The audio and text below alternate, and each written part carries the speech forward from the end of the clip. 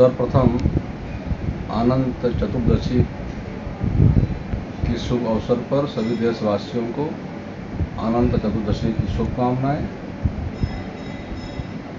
आज संगम तट पे उत्तर प्रदेश के उप मुख्यमंत्री माननीय केशव प्रसाद मौर्य जी ने स्नान किया।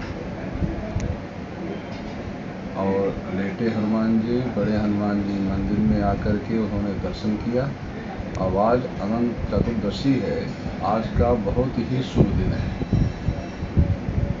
अधिकांशतः गणेश जी का विसर्जन भी आज के दिन होता है।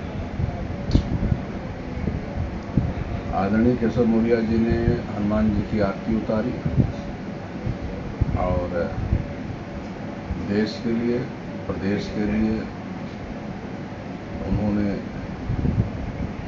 खुशहाली के लिए हनुमान जी से प्रार्थना की।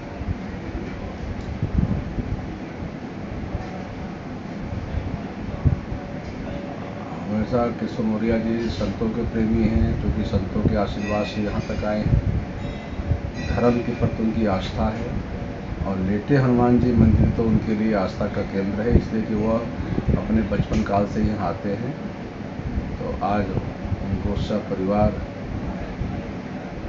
मेरी तरफ़ से हनुमान जी की तरफ़ से कोट कोट आशीर्वाद